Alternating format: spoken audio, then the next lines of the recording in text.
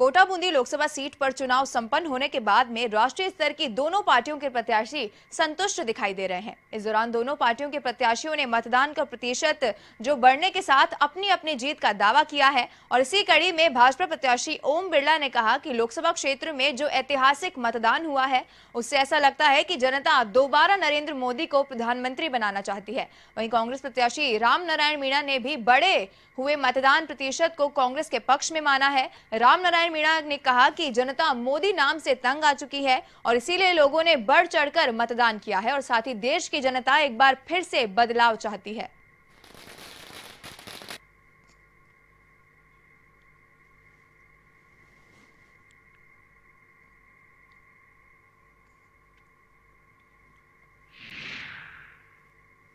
मतदान प्रतिशत जब बनता है, जब वर्तमान सरकार के प्रति लोगों की विशेषता प्रमाणिकता है।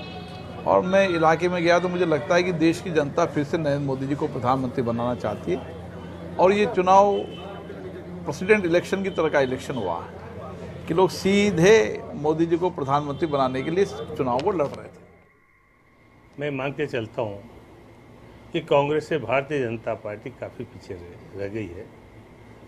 करीब करीब सभी विधानसभा क्षेत्रों में कांग्रेस बढ़त की ओर है। ये मेरा अपना आकलन है। कि मोदी मोदी नाम से आम मतदाता परेशान हो चुके हैं। और यह जो भाजपा के सांसद है, जिनके कथे कथा कहानियाँ नहीं काला खेत प्रकरण ही नहीं, उद्योग धंधों को बंद कराने का मामला ही नहीं, उद्योग धंधों पे कब्जा करने का मामला ही नहीं, ये सारी बातें मिला करके स्पष्ट हो चुका है कि भारतीय जनता पार्टी काफ़ी पीछे